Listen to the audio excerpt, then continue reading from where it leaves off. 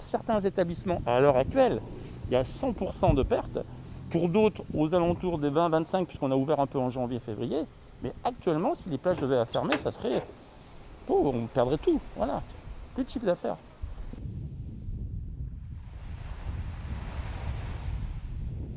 Donc nous travaillons euh, d'arrache-pied euh, pour trouver les, les solutions adéquates. hein. Ça va du d'éventuellement désinfecter bien sûr les espaces euh, à la fois de plage, de matériel, de restauration, peut-être la nuit par exemple. D'imaginer bien sûr travailler sur des gestes barrières qui sont déjà de toute façon en place. Aujourd'hui, notre, euh, notre objectif, c'est pas de gagner de l'argent, mais par contre, c'est de ne pas en perdre. Il ne faut pas qu'on parte à la fin de la saison en ayant des dettes.